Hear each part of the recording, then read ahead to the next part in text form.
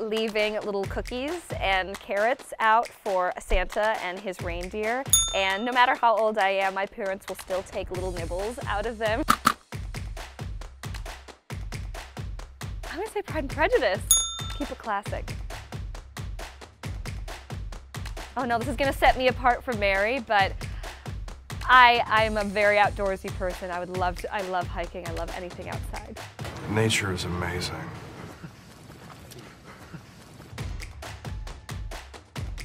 I play ukulele, and I uh, grew up playing the flute, and I play the piano. I'd be Hermione.